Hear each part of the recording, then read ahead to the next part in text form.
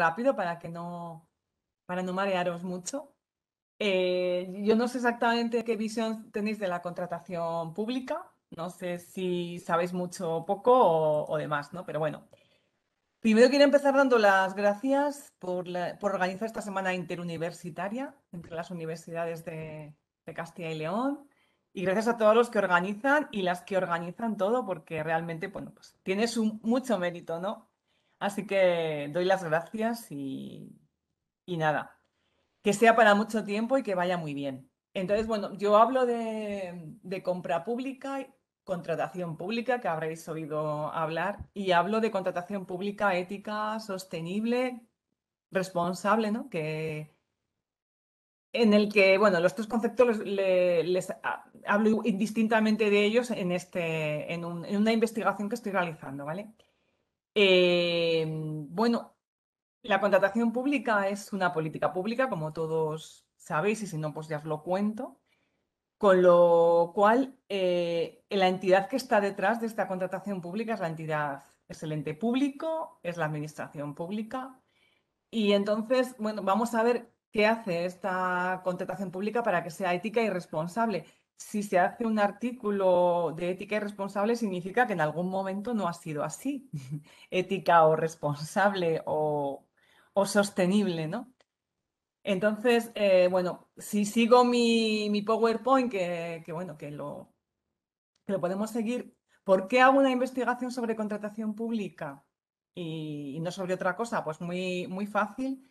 La contratación pública actualmente representa entre un 10 y un 15% del PIB a nivel internacional. En algunos países europeos representa el 23% del PIB en España más o menos está entre un 12 y un 15%, pero la contratación pública está en aumento. Quiere decir, cada vez más la administración pública presta menos servicios por ella misma y lo que hace es contratar entidades que presten servicios públicos. Quiere decir que eh, delega en manos de, otras entidades que no son públicas eh, la realización de un servicio público que va a la ciudadanía.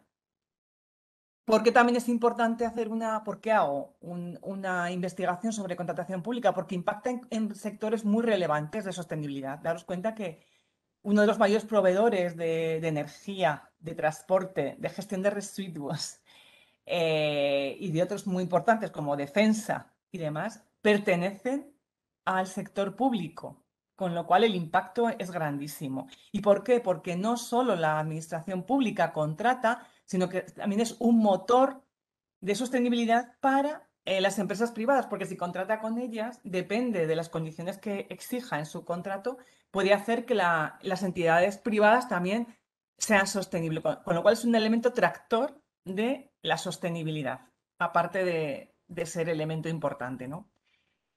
Eh, ¿qué, ¿Qué pasa? Que lo importante de mi investigación, la importancia en la que me baso es, vale, hay un, cambio de directivas eh, basadas por la Agenda 2030, que ya conocéis, donde se cambian las directivas de contratación pública, que eso desemboca en una ley española de contratación pública, donde se exige, entre comillas, exigir, o sea, se potencia la realización de una contratación que no solo tenga en cuenta los aspectos económicos, o sea, contratar al menor precio, que es un poco lo que se estaba haciendo ahora, sino eh, contratar de una manera sostenible sostenible en todos los aspectos. Y llaman sostenibilidad las nuevas cláusulas o de las directivas y de la ley española, lo llaman como que también intervengan en la compra pública aspectos sociales y ambientales a la hora de valorar qué empresa va a realizar un servicio público.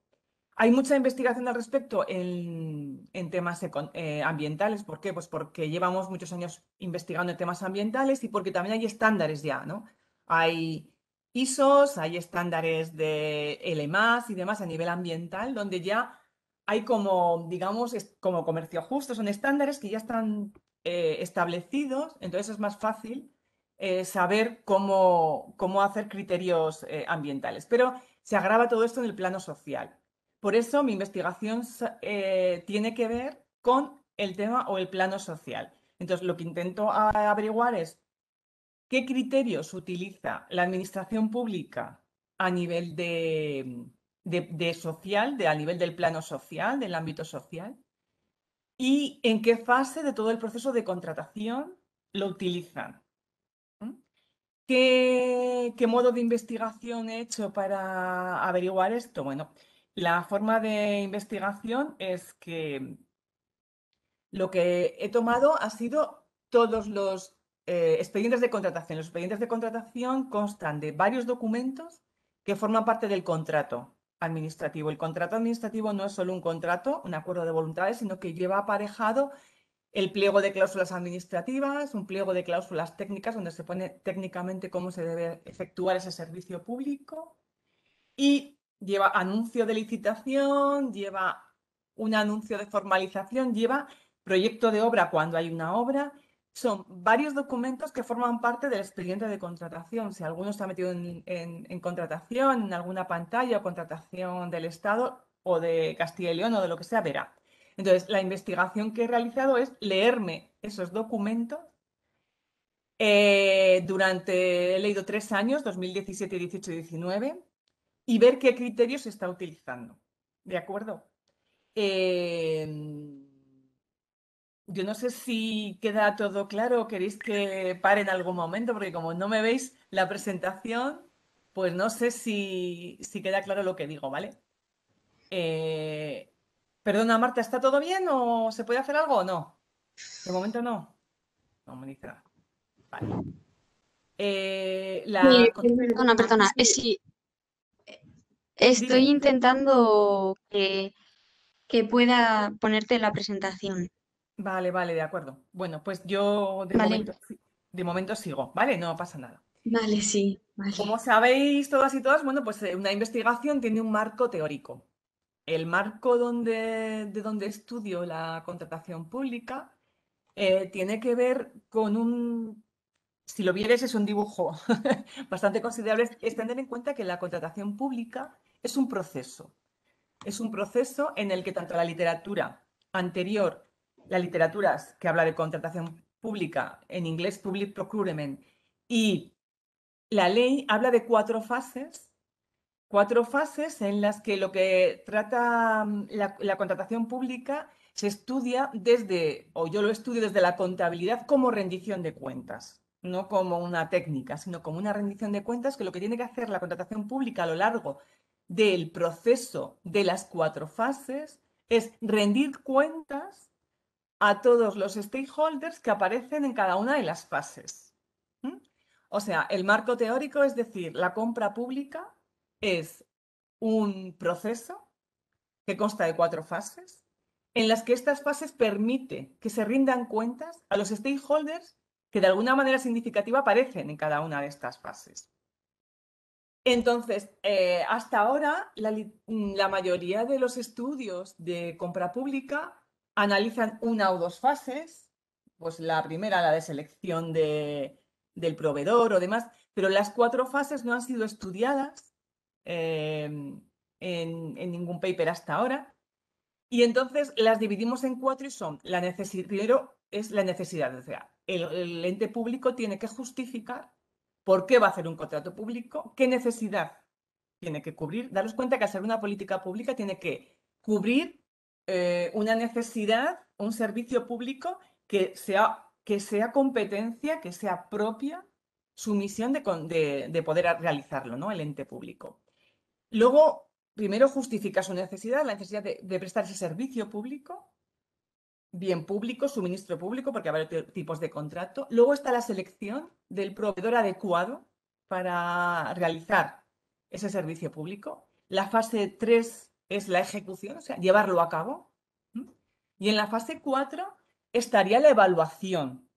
La evaluación consistiría en el estudio de si el objetivo que se plantea al inicio, eh, la administración, el objetivo de conseguir eh, ese servicio público prestado de una determinada manera, se ha conseguido o no. O sea, evaluar para hacer un feedback y poder determinar qué es lo que ha fallado y mejorar el sistema de compra pública ¿no? o de contratación pública.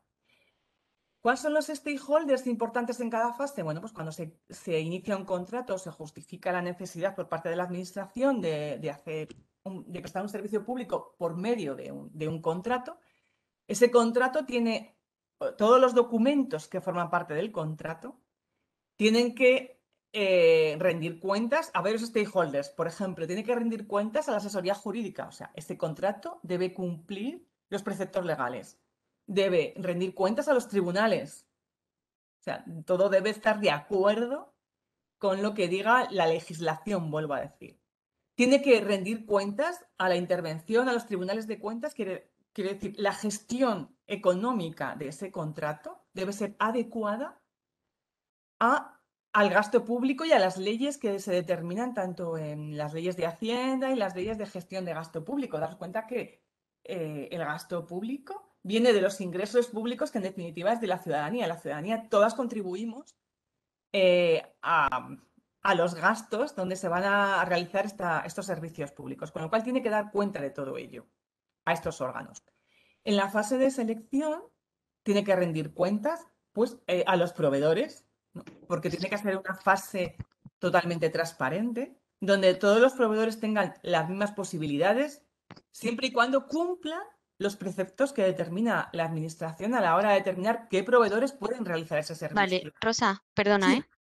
Vale, eh, ahora ya está, yo creo. ¿Ves la pantalla? Sí, perfecto. vale, dime la diapositiva y, te voy Pues sigue, aquí he hablado de la importancia, sigue. Vale. Sigue, porque aquí he hablado también de la importancia de por qué el plano social. Sigue aquí. Vale, perfecto. Pues me vas diciendo. Vale, muchas gracias, Marta. Vale, pues mira, aquí es lo que os he dicho, que la compra pública eh, nosotros la estudiamos desde la contabilidad, desde la contabilidad como rendición de cuentas, que en inglés se llama accountability, y es que debe rendir cuentas el sector público en cada una de las fases a una serie de stakeholders. Entonces, ah, hemos hablado de la primera parte, la necesidad, la selección, es decir, tiene que rendir cuentas a los proveedores para que todos puedan participar ¿eh? a la hora de un contrato público. Todos los que cumplan los preceptos, vuelvo a determinar, que determine esa compra pública ese contrato público. En la fase de ejecución tiene que rendir cuentas a los beneficiarios, o sea, a los que van a usar ese servicio público, a la sociedad en general, porque no olvidemos que es una política pública y un control democrático donde se tiene que dar cuenta de cómo se ha hecho este contrato público porque se están utilizando fondos públicos, o sea, fondos de toda la sociedad. ¿eh? Tiene que rendir cuentas a un stakeholder que a veces no le consideramos que es el medio ambiente, o sea, cómo se ha hecho esa selección de proveedores de tal forma que el medio ambiente se encuentre también en rendido cuentas, o sea, decir, bueno, he hecho esto con el medio ambiente y los trabajadores, tanto de la administración como de las empresas que contratan, como, de los demás. ¿no?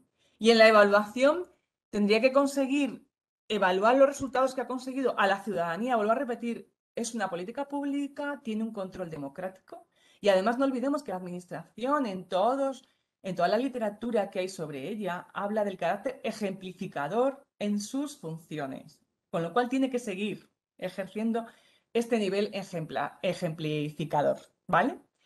Eh, lo que se trataría aquí, a lo largo de todas esas fases, entiendo, lograr que el proveedor que haya sido elegido, o sea, usar los criterios e indicadores adecuados para que el proveedor elegido, ya que estamos en la Semana del Comercio Justo y demás, sea el realmente el que el más sostenible, ¿no? Porque si hablamos de compra pública sostenible, debería ser el más sostenible a niveles ambientales y sociales eh, para realizar el contrato público. Para ello, la administración debería poner criterios e indicadores que logren, que logren que el proveedor que realice ese servicio sea el más adecuado a nivel de sostenibilidad o a nivel ético, como, como queráis eh, decirlo.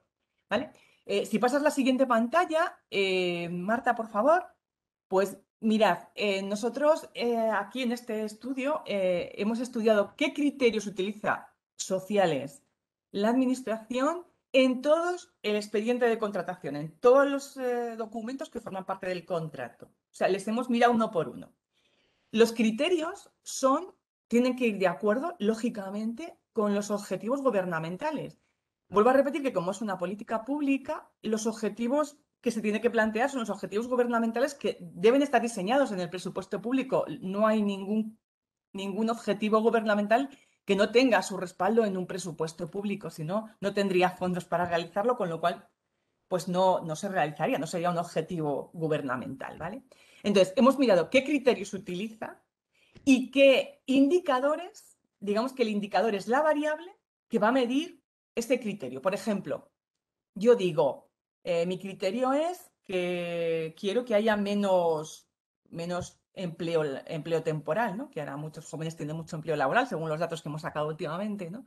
Bueno, ¿qué voy a, qué indicador pongo para conseguir con la contratación pública tener un impacto en la sociedad en la que haya menos empresas que contraten temporalmente a, los trabajadores? Pues pongo un indicador que lo haga, ¿no? Entonces digo, bueno, voy a poner que es la empresa, o sea, el contrato para realizar mi contrato solo pueden acceder a él empresas que tengan un, un 50%, un 80% de personas con, contrato indefinido. Entonces, estoy regulando qué tipo de proveedores quiero que hagan mi servicio público. Entonces, ese indicador, como otro cualquiera que, se nos ocurra, es el que va a potenciar que el criterio se pueda llevar a cabo. Daos cuenta que el indicador es la variable que va a influir en el que se dé el criterio que queramos, porque hay muchos indicadores con un solo criterio. Si yo quiero que el criterio de estabilidad laboral, pues hay muchos indicadores que puedo utilizar para lograr esa, esa estabilidad. ¿De acuerdo? Perdonad, voy a... Voy a beber.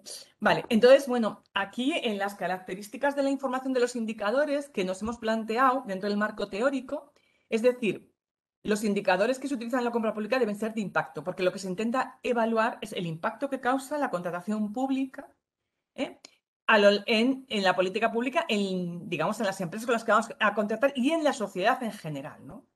Entonces, los indicadores deben ser de impacto, con lo cual las características que tienen que tener los indicadores que utilice la administración pública, hemos cogido dos, mm, eh, el European Commission Impact Action hemos cogido una guía de lo que dice que deben ser la información de los indicadores. Hemos cogido dos, ¿eh? más o menos, para determinar adecuadamente cuál, cómo deben ser los indicadores para, conseguir, para que consigan impactos. Pues para conseguir impactos, los indicadores que se utilicen deben ser relevantes, o sea, que sean adecuados a los objetivos, lógicamente. No puedo coger un indicador sin, que no vaya a favor de conseguir un determinado criterio que me he planteado con anterioridad, ¿no? Que debe ser pues, coherente con el objetivo que quiero, que quiero conseguir. Fiable, o sea, que sea preciso. Creíble, transparente, que se pueda verificar. O sea, si yo pido a una empresa que quiero que tenga más eh, personal indefinido contratado que temporal, tengo que tener un documento o algo que me justifique que es así pido los RNTs, la relación nominal de trabajadores o demás, donde puedo verificar que efectivamente se cumple lo que la administración ha pedido. Que sea aceptado o admitido, tanto por la sociedad como por las empresas. ¿De acuerdo? Que sea comprensible, claro, que sea claro, que sea claro.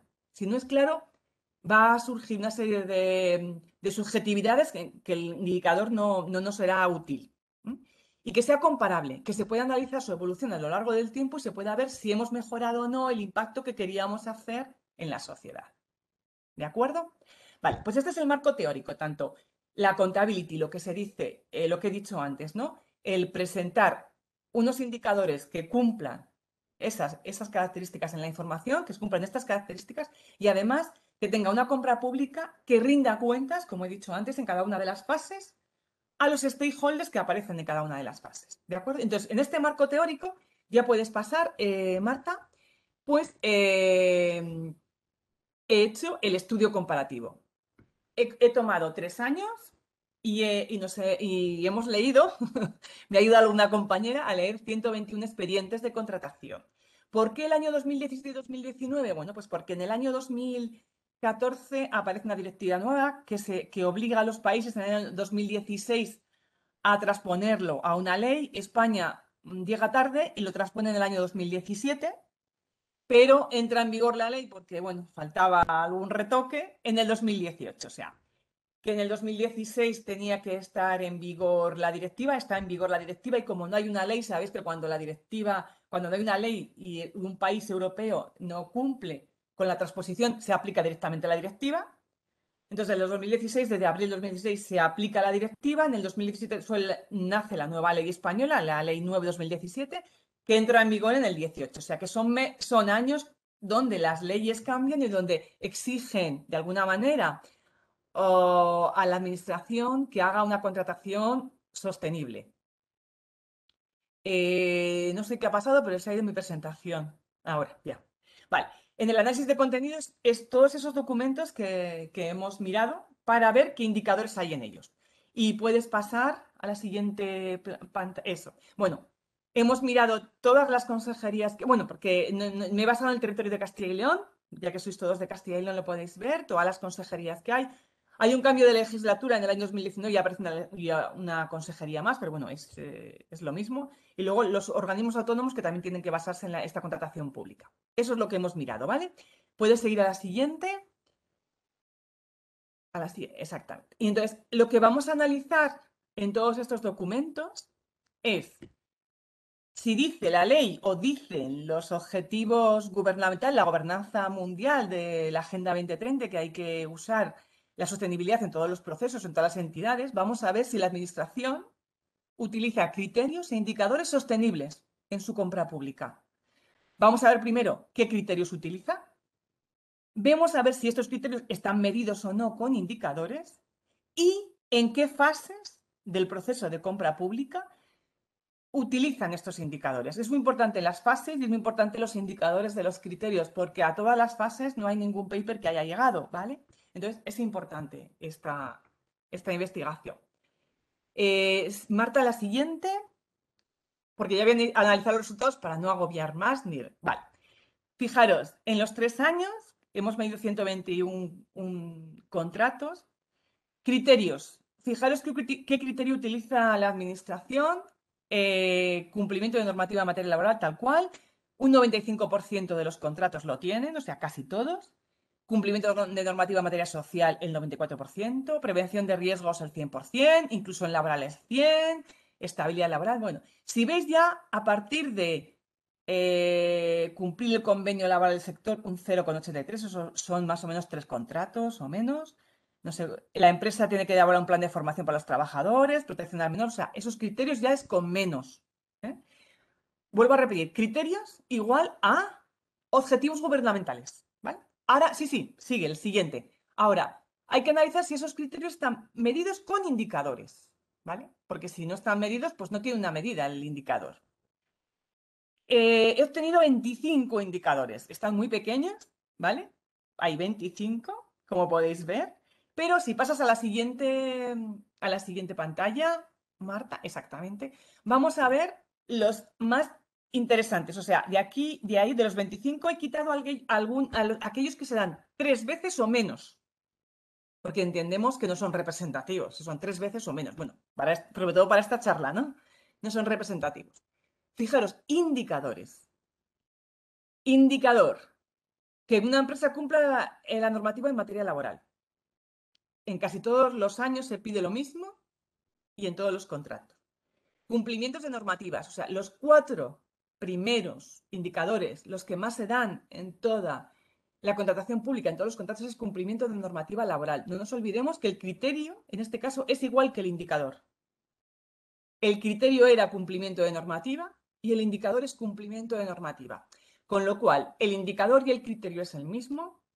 Vuelvo a repetir, el indica eh, quiere decir que el, que el, criterio no se está midiendo con un indicador porque es igual al criterio.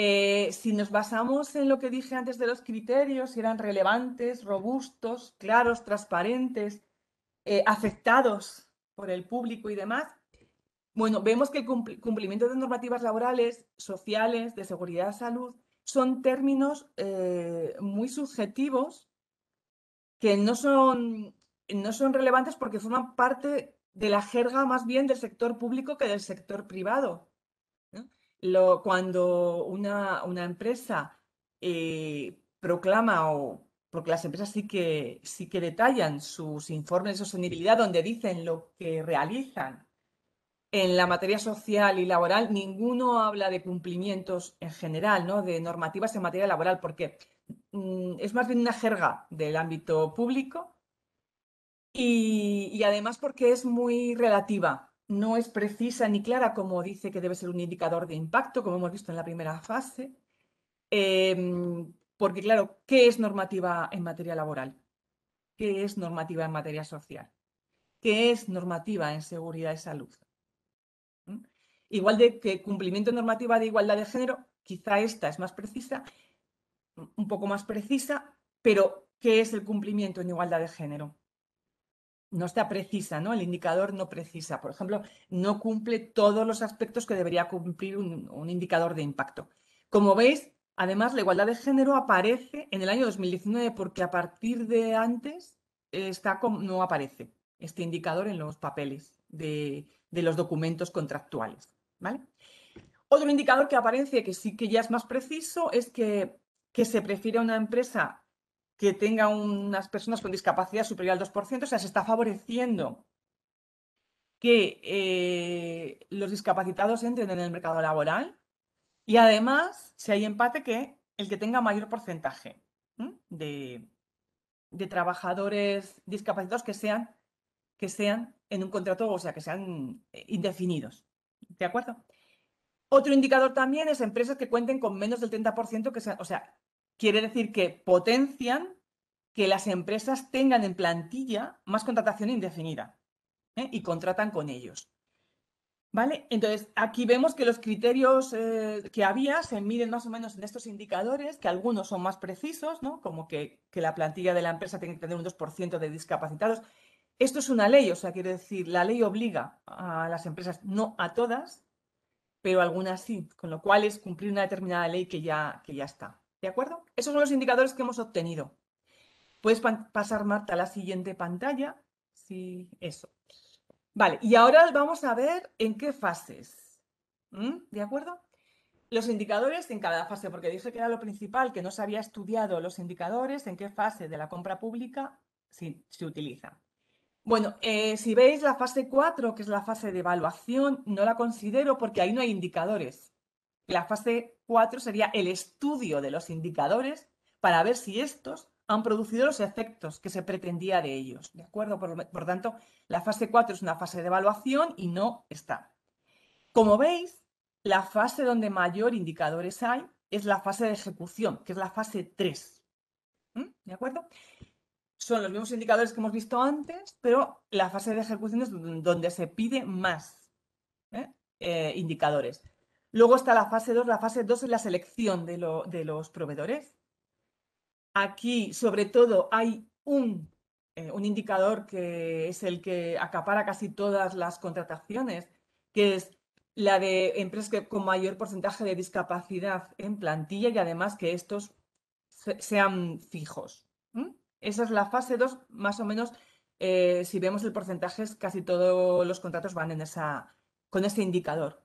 Y en la fase 1, en la fase de licitación, donde eh, los licitadores eh, presentan su oferta, vemos que hay, bueno, pues incluso se repiten algunos indicadores en las dos fases, menos el de cumplir la obligación de tener en plantilla discapacitados con un porcentaje superior al 2%, ¿vale? Entonces, vemos que la mayoría quiero que os quedéis con el tema, que hay indicadores, los principales, que no, perdón, criterios que no se miden con indicadores. Luego, que la mayoría de los indicadores están en la fase 3, en la fase de ejecución. Que en la fase 2 de selección eh, hay uno que, que, destaca sobre el resto. Y que en la fase de 1, en la fase de necesidad, donde se plantea a los licitadores para que, para que produzcan su oferta, para que la presenten, pues hay menos indicadores, pero hay cumplimientos de normativas, que también se repite en la fase 3, y también se vuelve a determinar que eh, el indicador que hace que, las empresas cuenten en plantilla con, personas con discapacidad superior al 2%, que es lo que dice la ley. ¿De acuerdo? Entonces, ya eh, la siguiente diapositiva, por favor. Vale. Voy a concluir, voy a concluir porque como esta charla es un poco así, no, sabéis, no sé lo que sabéis de contabilidad o no, o sea, perdona, de contratación, si luego queréis preguntarme, pues prefiero que me preguntéis. Entonces, una vez que hemos explorado todos estos criterios, indicadores sociales, ¿eh? Eh, vuelvo a repetir, solo he mirado indicadores sociales, porque los, eh, los mm, ambientales hay mucha más literatura al respecto. Entonces, ¿qué pasa? ¿Cuál es realmente lo que hemos visto? ¿Vale? Pues que el uso de indicadores en su mayor parte son cumplimientos legislativos en áreas genéricas, que otros que no son esas eh, solo se utilizan de forma testimonial, con lo cual, bueno, pensamos que todo el potencial que tiene la compra pública, que es mucho, que ya os dije lo que representaba con respecto al PIB, y además su doble función, tanto de que, eh, que la administración pública es proveedor como tractor, de, o sea, elemento tractor o generador de sostenibilidad en las empresas privadas, bueno, pues que se, limita ¿no? todo este potencial que tiene. Y la segunda conclusión así muy evidente que podemos ver es que eh, la contabilidad, que nosotros la vemos, la contabilidad dentro de mi materia, como responsabilidad pública y rendición de cuentas, se limita simplemente a un análisis de cumplimiento de leyes muy genéricas que, que además tenemos que tener en cuenta que las leyes, eh, ellas mismas ya tienen medios regulatorios y reglados para que se cumplan. Entonces se utiliza la contratación pública, que es muy complicada y, muy potencial, para otra vez supervisar cumplimientos de leyes. ¿De acuerdo? Y si ya pasas a la siguiente diapositiva, pues ya me despido. me despido porque, bueno, eh, no quiero aburriros mucho más con, el tema, porque no sé lo que es lo que veáis. Lo que quiero que quede claro es un poco lo que pretendía ¿no? decir, ¿no? que es una política pública, que hemos mirado, que no se trata de determinar que la compra pública tiene que ser ética, sino que hemos mirado los papeles a ver qué ponía, para ver si es verdad que es, sostenible o no. Y bueno, eso hemos sacado. En conclusión, eh, este es el paper que, uno de los papers que forma parte de mi, de mi tesis y de mi trabajo. Entonces yo estoy abierta porque como no sé si no sé ni si sabéis un poco lo que es la contratación pública, es verdad que es un tema un poco más complicado, ¿no? Y si queréis hacerme cualquier pregunta, yo estoy abierta. Sí, vale. Primero eh, pedir disculpas porque ha habido problemas del directo y, y nada, pues sí, si tenéis alguna duda, eh, podéis escribirlas por el chat o podéis abrir el micrófono o, lo que queráis. Eh, bueno, yo de lo que me he podido enterar, porque yo en esto... Eh, es que es un tema complicado, pero bueno, no es muy difícil. No, no, sí, la verdad es que si te pones, la verdad se entiende, pero da como dices contabilidad, ¿no? Como, pero se entiende bien. Me ha sorprendido lo de en el nivel 3 de los indicadores eh, de que en la fase 2 de la ejecución solo había un, bueno, el, que destacaba, que solo había uno que destacaba, ¿no? Respecto a, los demás. La verdad es que eso me ha, me ha sorprendido bastante. Y, me gustaría que explicases un poco otra vez, bueno, que resumieras un poquito esto, porque no sé si me ha quedado del todo claro. Vale. Em, bajo mi punto de vista, Mm. Eh, si se trabaja en contratación, en la fase 1, que es donde cualquier proveedor puede presentar su oferta, sí. claro, es un poco, hay que, hay que agilizar el proceso, porque imagínate que se presenta 300, sí, 220. Entonces, claro, siempre se piden menos indicadores, ¿no? Por lógica. Sí, sí. En la fase de ejecución es muy importante los indicadores. ¿Por qué? Porque realmente es donde se ejecuta. Y además, como eh, en el primer momento se publica el pliego de características técnicas, es cómo debes realizar tú tu, tu servicio público. Ahí, oye, pues tienes que tener el EMAS, tienes que tener eh, la ISO 9000, no sé qué, la ISO 14000, la ISO, ¿no? Entonces, cualquier licitador que quiera presentarse y luego sepa que tiene que cumplir ese contrato con eso y no lo tiene, no se presentará. Por eso es importante en la fase de ejecución tener muchos indicadores para hacer el proceso ágil, pero como luego tienes que cumplir el pliego de técnicas y el pliego de administrativas y te piden que tu empresa tiene que tener un 30% de trabajadores fijos, aunque no te lo pidan en la primera fase como indicador, pero lo tienes que hacer en la ejecución, tú no te presentarás. Porque si no lo tienes, no puedes ejecutar el contrato si eres elegido. Claro, vale. ¿Ah? Y así hace la administración que el proceso sea más dinámico hmm. y luego eh, en la ejecución obliga, porque todos los pliegos el de características técnicas y el otro y el de administrativas son ley. Quiero decir, el proveedor que se presente lo tiene que cumplir como un contrato. Se firma todo además como un contrato, o sea, lo firman las dos partes. No es como un contrato de acuerdo de voluntades solo. Entonces, por eso lo hacen. O sea, porque la fase 2 es cuando hay puntuaciones en la selección de proveedores. Entonces, se puntúa pues, pues por el precio que presentes en tu, en tu servicio público, se, se puntúa pues por tu calidad, pues si, lo pues si haces el servicio público más rápido que otro, o en menos tiempo, o con una calidad mayor, o, o, o se pone un proceso social, ¿no? Pues si tienes un plan de, de, formación de los trabajadores y tal, que es más adecuado al trabajo, pues te, te doy un punto, dos o tres. Eh, la fase de selección de proveedores, solo aquí hemos visto que solo tienen en cuenta eh, lo de los discapacitados y además porque lo pone la ley de contratos. La ley de contratos obliga que si no pones ningún indicador, ya. Tienes que poner este. Entonces, claro, claro. Simplemente se está cumpliendo la ley. Vale. Si te, si te, lo, he, si te lo he explicado un poco bien. Sí, la verdad es que sí, ahora me queda más claro más o menos, así que... Y nada, así como dato curioso, también me ha parecido eh, curioso que, que todos los contratos que te tuviste que leer para la, la, investigación, que vamos, que ya... Sí, son muchos. He estado más, sí, he estado casi una... Sí, es mucho, es mucho, sí. Sí, bueno, pues... Pero bueno, pero bueno, ya digo que no sé si alguien más conoce la contratación o quiere saber algo. Yo, bueno, yo no sé, es que ya, digo, es una materia muy, muy específica, muy, muy complicada.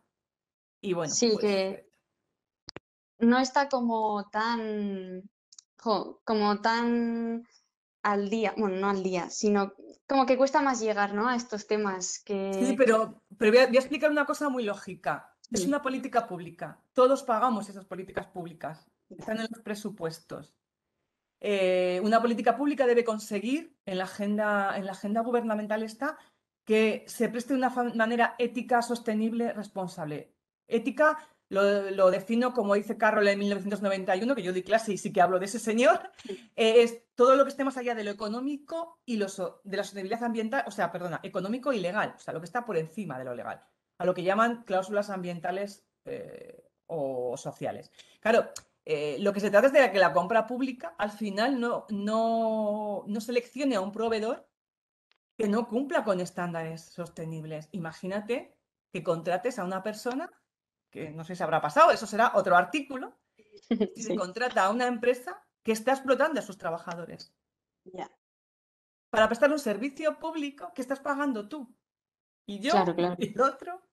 Entonces se trata la sostenibilidad de que el proveedor que quede elegido sea realmente el sostenible, o sea, el que cumpla con los parámetros sociales, ambientales, legales y económicos.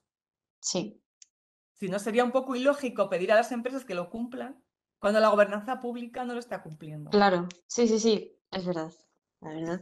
Que son cosas que... Eso, es, en definitiva. Y además que sepáis que si alguien es de contabilidad, hay una ley nueva que ha salido ahora, la, la 11-2018, que mm, obliga a una información no financiera de las empresas, de un determinado número de empresas, que ahora, más adelante, se está haciendo una directiva para las empresas, para las pymes, y deberá haber a unión si se exige a las empresas. Imagínate, ¿cómo no se puede exigir a, una administración ah. pública? Sí ya, lo está, sí ya lo está exigiendo sí, sí, sí. para los demás. Total. Entonces, bueno, eso es lo que quería decir, simplemente. Sí, vale, pues sí, ha sido como un buen cierre, yo creo. Bueno, muchas gracias a todas y a todos los que están aquí. Espero que no, no haber aburrido mucho. No, está muy bien. Vale, y lo que queráis. Pues nada, un saludo, Marta. Encantada de conocerte. igualmente, muchas gracias. Nos veremos en la universidad. Sí, seguro. Vale. Bueno, un saludo y gracias a todos y todas. Hasta luego. Hasta luego.